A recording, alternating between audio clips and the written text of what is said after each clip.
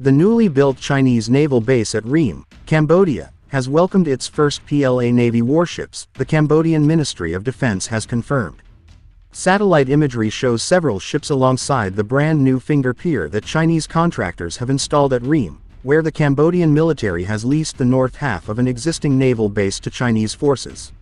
It appears to be the first time that the pier has received ships other than construction barges and dredgers related to the project. Imagery obtained by Planet Labs for Radio Free Asia shows two surface combatants alongside the pier.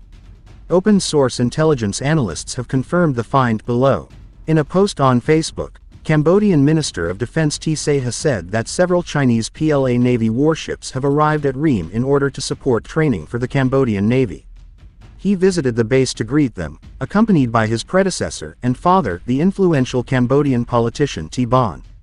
The U.S. military has long warned of Chinese plans to build a base at Ream.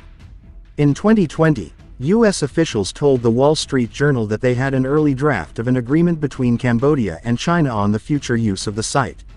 The deal would allow Chinese forces to use the northern half of the site for a period of 30 years, with automatic renewal thereafter.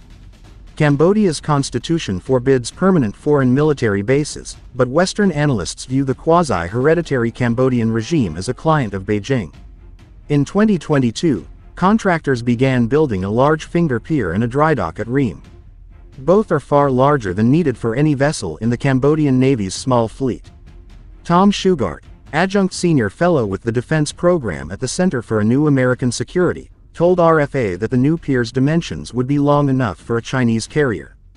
The pier was completed in November.